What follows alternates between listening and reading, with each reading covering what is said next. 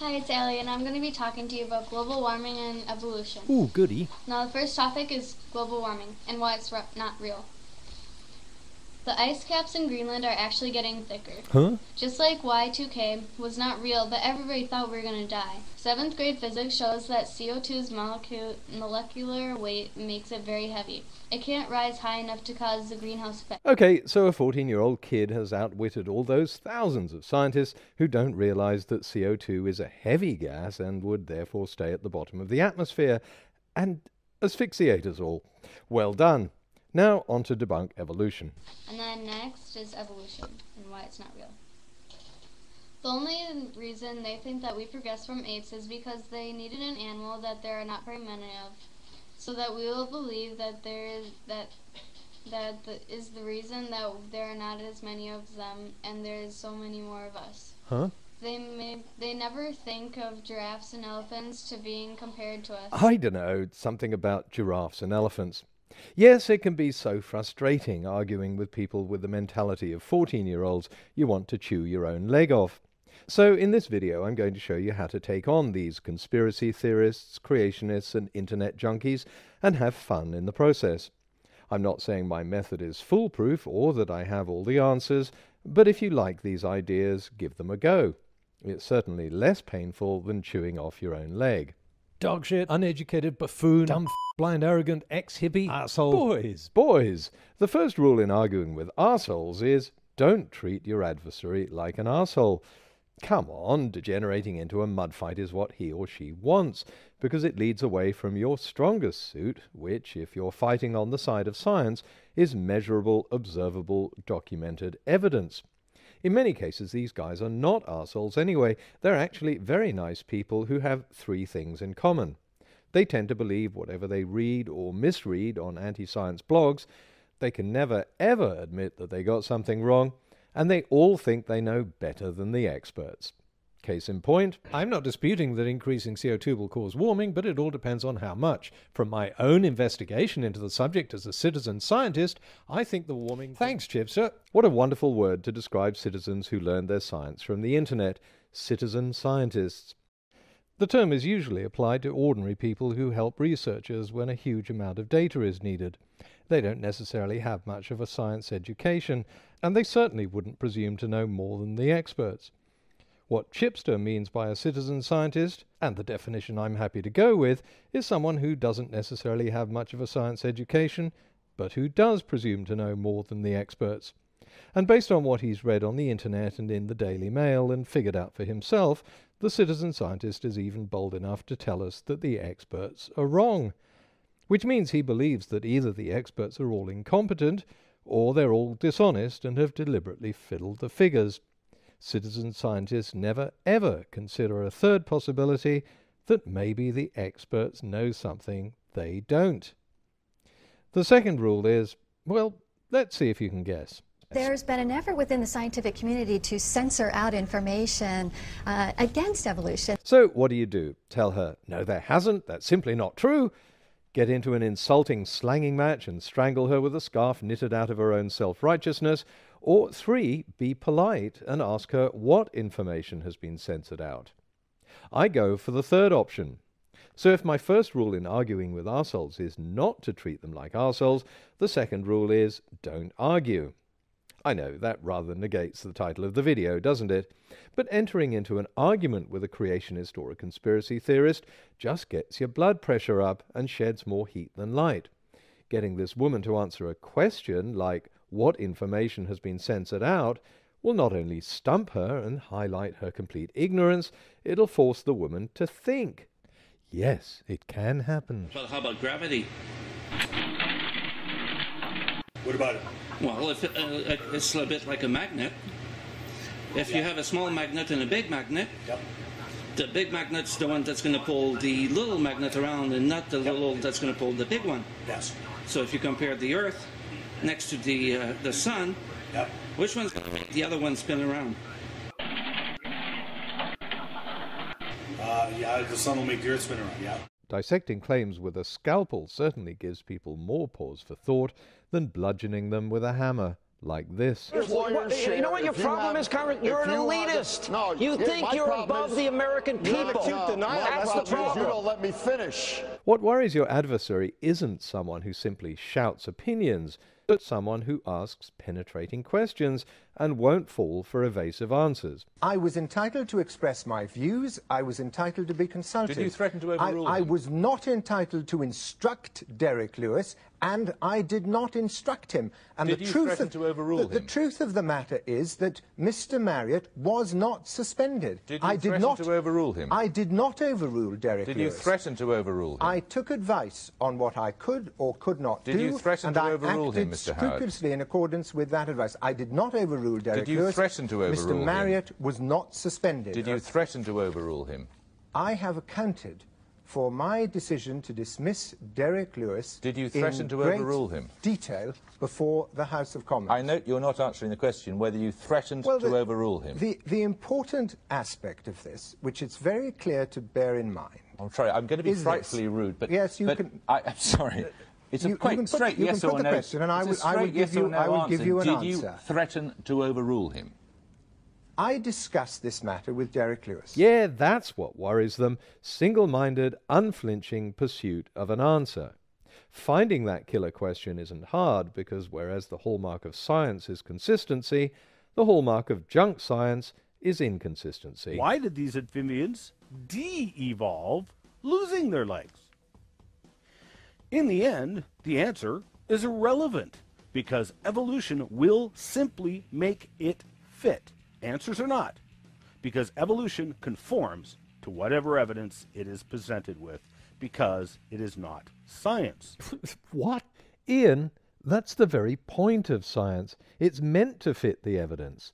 In other words, evidence comes first, then the conclusion. In junk science, it's the conclusion that comes first.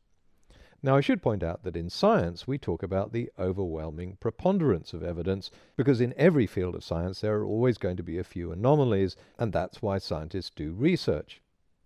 But the overwhelming preponderance of evidence has to be consistent with the theory. In citizen scientists' world, if the overwhelming preponderance of evidence is inconsistent, then the citizen scientist will either change it, as we've seen many times, or simply ignore it. All you have to do is ask questions to find out where the claims of the citizen scientist and the evidence don't match. When it finally dawns on him that things don't add up, he'll go through contortions to try to avoid answering the question. Here's an example from one of my video fora. Someone called the Clunking Fist accepts that an increase in CO2 causes the Earth to warm up and that it's done that in the past. But he claims these high temperature conditions never stayed around. That's contradicted by the fact that these high temperature conditions lasted millions of years. So the obvious killer question is how long did these hothouse conditions last? If Clunking Fist admits they lasted millions of years, he's contradicting his own hypothesis. So rather than admit he's wrong, he has to avoid answering the questions. In all, I had to ask six times, but of course I never got an answer, just an interesting mix of evasive responses. Now, it's not a difficult question, and the answer's pretty straightforward. When someone goes to such lengths to avoid answering a question, you can be pretty sure he knows he's been caught out. In that case, you may wonder why don't these guys simply give an honest answer and abandon a claim that's so obviously inconsistent with the facts? Why go through the painful process of having to avoid a question again and again when all you have to do is say, whoops, my mistake? I know, weird, isn't it? If a competent scientist discovers he got something wrong, he'll simply acknowledge the error. If that changes the hypothesis, then, as Ian Juby pointed out, the hypothesis changes. But remember, in citizen scientist world, the conclusion comes first, so the conclusion can never ever be wrong. Refusing to answer six times is nothing. The record so far is held by someone called Kearbird, after he claimed my climate change videos had ignored scientists with the strongest evidence against what he calls large scale AGW. It took me 15 attempts to try to get him to give me the names of the scientists I'd supposedly ignored so that I could check out this strongest evidence. The excuses for not revealing them were varied and fascinating. Google it. I've already named them. I refuse to engage in a link war. I accept the science. You don't get to dictate the rules of our chat. This is not my central point. You already know their names. I won't give you the names because you'll attack their credibility. I may have posted the names elsewhere on another thread. I've repeatedly answered your question. You know the names. Now, if I had the strongest evidence for something, I'd only need to be asked once, and I wouldn't hesitate to say what it was. Of course, watching citizen scientists squirm like this does make these encounters far more fun than shouting abuse and getting frustrated. But there's also a serious side to this. Personally, I'm fascinated by how one part of a human brain can know that something's wrong, but the other part still clings to a belief that it's right. It's fascinating to see the variety of excuses that are served up to keep the two halves of the brain from colliding. And there's a polemical reason for asking questions as well. In my experience, citizen scientists often try to keep their statements vague and ambiguous so they can change their claim when they get caught out. In fact, watch for the subtle change of claim as you're questioning them. So ask questions to establish their position very clearly right up front. And it helps to feign ignorance. Remember, these guys think they know better than the experts, so never make out that you're smarter than them. That only invites suspicion. If you want a role model, don't choose a smart smartass like Hannity. Choose this guy. I'm sorry, sir. Just one more thing. You said that your nephew was planning on coming to your party. Yes, sir. And he called just to say he was going to be a little late. That's right. And that was a costume party. Well, sure, you were there. Had you told your nephew that? Say what? People trying to hide something are much less on guard when they think they're dealing with an idiot. Play dumb, be respectful, and they'll only be too happy to try to teach you their pet theories in detail played out on a long line knotted with inconsistencies. All you have to do is wait until they've played out enough line and then reel it in. Ignoring evidence is one thing, but when a citizen scientist changes the evidence, then you need to compare his claim to the primary source. Honestly, I don't trust, uh, ra- you know, radiometric and carbon dating at all. But uh, you know, bear with me here. Here's a little article from a uh, an, an article. As with facts and evidence, the citizen scientist will often be evasive and obtuse when asked for a source. For example, data is not a source. I could claim the sun orbits the Earth and cite astronomical data as my source. It's meaningless. As Z. Shogun did here, ask for the title or author of a paper that reached this conclusion based on that data. You'll usually find there is none. Neal Adams, the comic book illustrator who thinks the Earth is expanding, gives his source for a claim as geology textbooks. Doesn't say which ones or which page number, which is just one step up from the other common answer, everyone knows it, or look it up. For a source to be meaningful, it has to be something you can check, which of course is why the citizen scientists don't like to give it. As soon as they do give a source, their argument falls flat. A living mollusk shell, carbon dated at 2300 years old. Well, here we are 14 years later, carbon dating is still not working. Here's our old friend Kent Hovind trying to show that carbon dating doesn't work because he claims living mollusks were carbon dated at 2,300 years old. Unfortunately for Hovind, he gives us a source, a scientific paper by Keith and Anderson. That may impress other citizen scientists who get all their information off the internet, but for people who fact check, this is so easy to debunk. As even the title of the paper suggests, Keith and Anderson weren't trying to carbon date a living mollusk at all, they were carbon dating its shell, and since the carbon in the shell came from very old calcium carbonate in the water, it gave a very old date.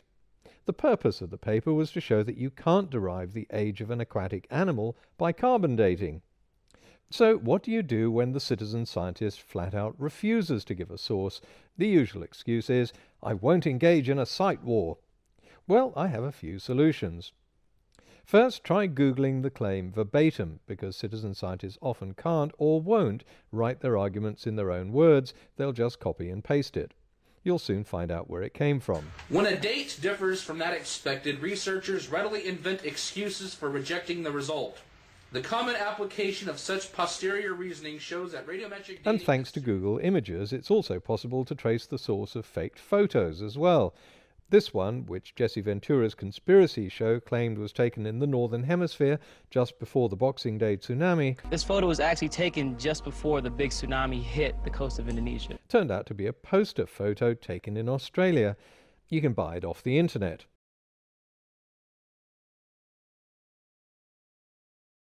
Here's a technique I tried when a YouTuber called Laurel Bush refused to give up her source.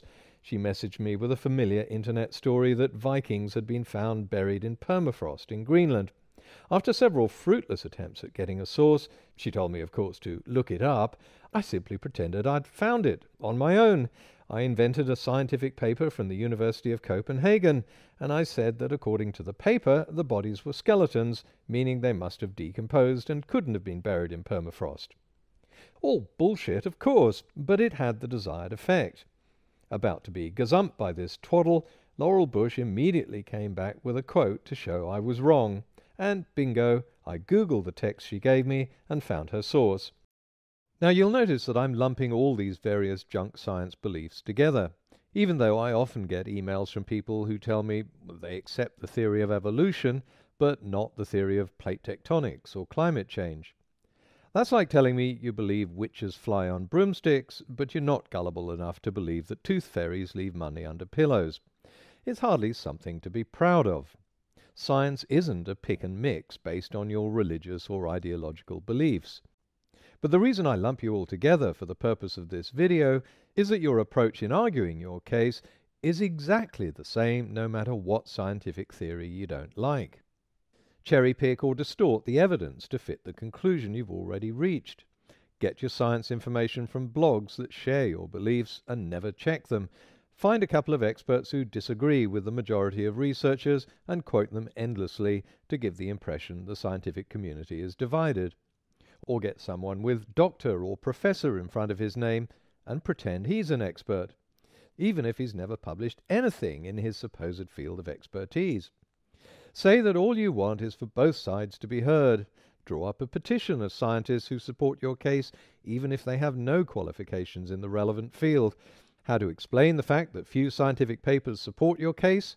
Claim censorship. And why don't most scientists support your theories? Because of course they're all either dishonest or incompetent. Never entertain the possibility that they know something you don't.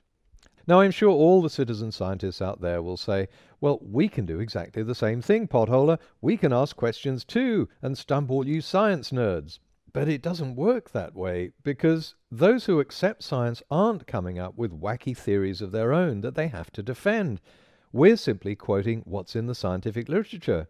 Now, you might be able to show that we've erroneously misquoted the science. That's happened to me quite a few times. And then all we have to do is admit that we got it wrong and correct the error. It's that easy. In fact, I wish citizen scientists would ask more questions because then they'd be able to get some answers which they won't find in the places they usually go for information on science. In fact, most of the questions I've seen are incredibly easy to respond to. When I googled questions evolutionists can't answer, I found these question evolution questions, which have even been made into a t-shirt, and a host of other lists.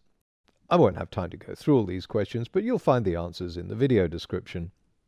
When I googled questions warmists can't answer, I found these two. And these rather innocuous questions prompted a few more questions on a discussion forum, also answered in the video description. But if you don't know the answers, don't worry. Remember, you don't have to pretend to be an expert. You simply have to quote what real scientists say. If you don't know, then say you don't know. It's sometimes interesting to then ask the citizen scientist, well, what do the scientists say? He can never admit he doesn't know, so listen to whatever answer he makes up and ask for a source. Despite all this, a lot of people probably still think that citizen scientists sound persuasive. After all, why shouldn't their beliefs be just as valid as the conclusions of real scientists? And why can't their web pages be just as legitimate as peer reviewed papers published in respected scientific journals? Well, let me just ask one final question. If you're happy to get your science from a citizen scientist, then would you be just as happy to have a root canal performed by a citizen dentist?